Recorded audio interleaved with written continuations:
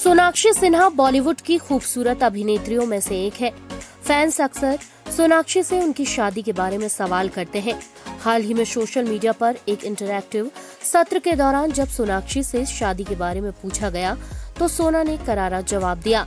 Ask me anything नाम के इस सेशन में एक फ़ैन ने पूछा, मैम, हर कोई शादी कर रहा है तो आप कब शादी करेंगी? सोनाक्षी ने उसे जवाब दिया हर किसी को कोविड 19 हो रहा है तो क्या मुझे भी होना चाहिए? सोनाक्षी का यह जवाब सोशल मीडिया पर तेज़ी से वायरल हो रहा है।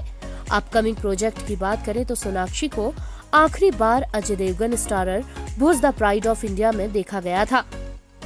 फ़िल्म में संजय दत्त और नौरा फतेही भी है।